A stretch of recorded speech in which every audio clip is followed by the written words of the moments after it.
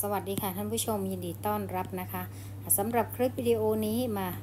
หลายวันแล้วเรามาดูที่สูตรคำนวณวิกบน 1 ตัว 1 พฤศจิกายน ปีพุทธศักราช 2567นำมาฝากกับทุกท่านในวันนี้ สูตรอาจจะยาวนิดนึงนะคะ ตัวเลขที่อยู่ด้านบนของแต่ละหลัก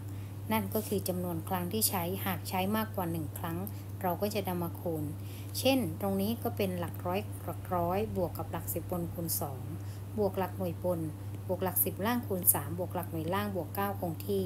เริ่มคำนวณพิจารณาตั้งแต่งวดที่ออก 8 6 7 และ 28 ดังนี้ค่ะ 8 บวกกับ 262บวก 7 บวก 326 บวก 8 นะคะ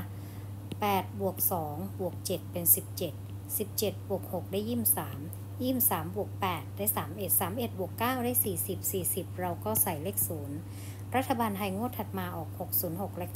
94 606 และ 94 เลข 0 มาที่ตำแหน่งของหลัก 10 บน ต่อไปหลักร้อยดึงมาบวกกับ 0 คูณอะไรก็ได้ 0 บวก 6 บวก 39 27 บวกกับหลักหน่วยล่างเลข 4 เอาแค่หลักหน่วยรวมกันนะคะ หลัก 10 ไม่ต้องใช้ก็ได้ เพราะว่ามันจะทำให้การบวกซับซ้อนยิ่งขึ้น 6 บวก 6 เป็น 12 12 บวก 7 เป็น 19 19 บวก 4 ก็ได้ 23 23 บวก 9 ได้ 32 32 ได้ 2 เพราะว่ายังไงเราก็ใช้แค่หลักหน่วยอยู่แล้ว เราจึงตัดหลัก 10 ออกได้นะ กรณีบวกตรงนี้เหมือนกันอ่าถ้าสมมุติว่าเราอยากจะให้บั่นทอนลงเช่น6บวก6เป็น 12 เราก็เอาแค่ 2 มาบวกกับ 7 เป็น 9 และ 9 บวก 4 เป็น 13 พอ 13 เสร็จเราก็เอาแค่ 3 มาบวกกับ 9 นะ ก็เป็น 12 เราก็ใส่ 2 ตรงนี้อย่างนี้ก็ได้ตัดออกตัดออกไปทุกช่วงก็ได้นะแต่เราตัดออกเฉพาะที่เราเขียนเป็นสีเขียวก็พอก็ได้นะคะ หลักร้อยบวกหลัก 10คูณ2 2 6 12 บวก 2 บวก 3 3 9 บวก 7 ดังนี้ 6 บวก 2 บวก 2 ได้ 10 นะ 10 บวก 9 เป็น 19 19 บวก 7 ได้ 26 26 บวก 9 ได้ 35 35 จึงใส่ 5 รัฐบาลไทยงวดถัดมาอะไรคะ665 และ 59 665 และ 59 5 มาที่ตำแหน่งของหลักหน่วยบน ต่อไปหลักร้อยนะ งวดนี้นะ ทุกคนฟังดูเฉยๆ แบบเล่นๆนะ คุณไม่ต้องไปซื้อนะงวดนี้นะคะอะหรือว่าจะซื้อก็ก็แค่นิดหน่อยก็ตามแต่คุณวิจารณญาณของคุณเอง แต่อยากจะให้ดูเฉยๆซะก่อนนะ ดูแนวทางมันมันจะไปทิศทางไหนนะคะอะ มีเลขหกอีก เราต้องดักไว้ว่า อย่าให้มีเลขหกนะคะ เสร็จแล้วยังไงรู้ไหม มันจะโผล่มา เสร็จแล้วเราก็แบบเขาเรียกว่าตลบหลัง ตลบหลังเข้าใจนะ เออหกบวกหกบวกกับสองหกสิบสอง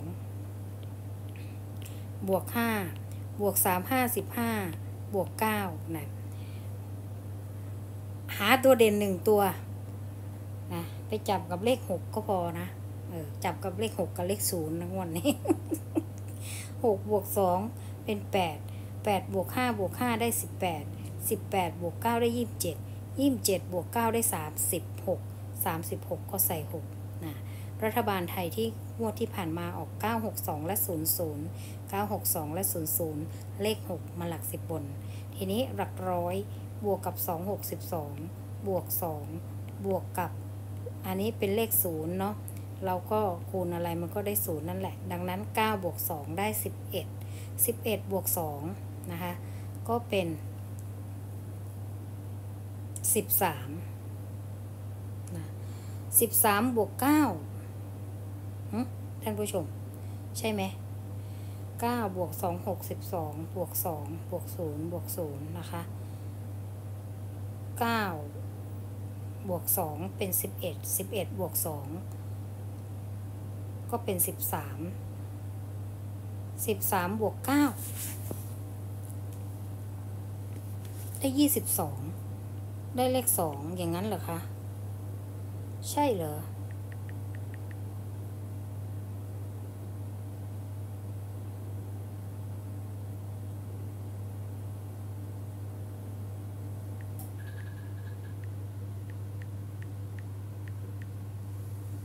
อ่าได้เลขสองนะคะ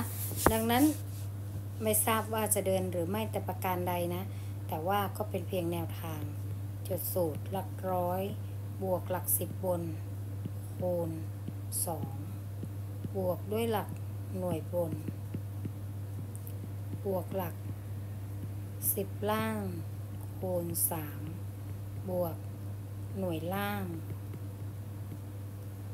บวกเก้าคงที่ด้วย นะคะ เท่ากับ x อะ อันนี้ก็คือแนวทางในการพิจารณา 1 ตัวนะตำแหน่งของหลักร้อยบน เออ ไม่ใช่ 1 ตัวบนไม่ทราบว่าจะมาหรือไม่นะ เป็นเพียงแค่แนวทางในการพิจารณา ดูเฉยๆก็ได้นะคะ ไม่ต้องตาม ดังนั้นงวดนี้ดูเฉยๆนะ ทุกคนนะ ขอบคุณที่รับชมนะคะ แคปเจอร์นะคะ เก็บไว้สวัสดีค่ะ